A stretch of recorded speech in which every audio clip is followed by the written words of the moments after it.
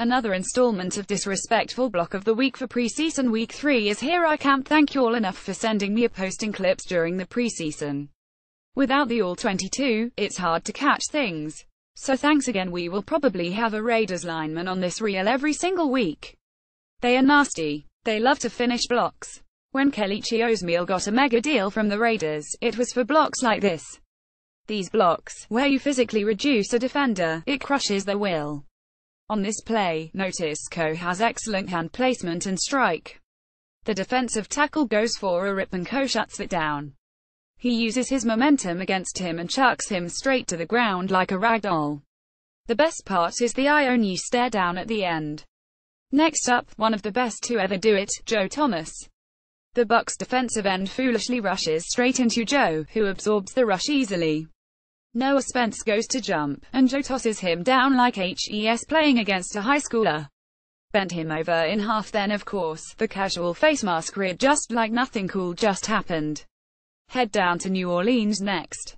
Here, I'll introduce you to the full slab. When offensive linemen target defense linemen and pass pro, we aim the for ribs. The head is a no-no, and if you hit a lineman any lower, they aren't going to move as far. The ribs, though, that's prime meat. Hit the ribs, and down they go. If you get a good shot of exposed ribs, that's a full slab. This is what we have here. A full slab takedown. And trust me, as linemen we know when we get help.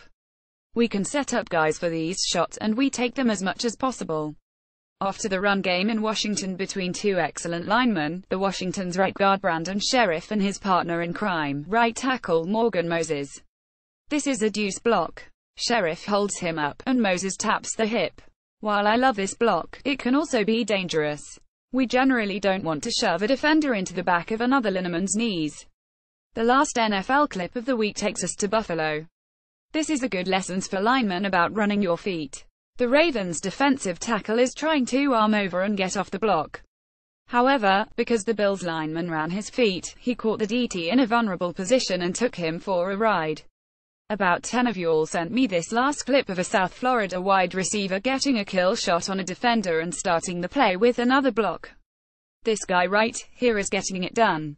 We love seeing the skill position players busting their asses to block.